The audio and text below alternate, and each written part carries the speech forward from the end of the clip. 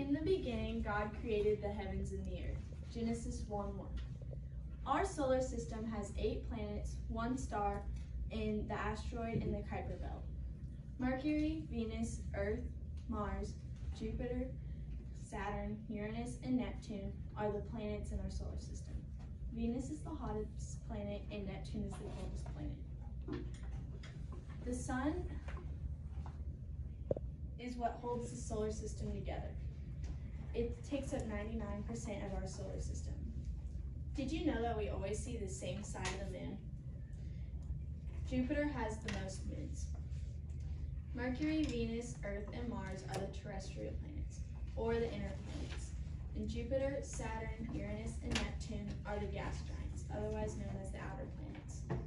Neptune's moon, Triton, orbits the planet backwards. Mercury and Venus are the only planets without a moon. Did you know that your footprints won't disappear on the moon because there's no wind? Jupiter has 79 moons, and Uranus has 27 moons. Did you know that Pluto is smaller than the US? Free moving liquid in outer space automatically forms into a sphere. Did you know that if you were driving 75 miles per hour, it would take you 258 days to drive around Saturn's rings?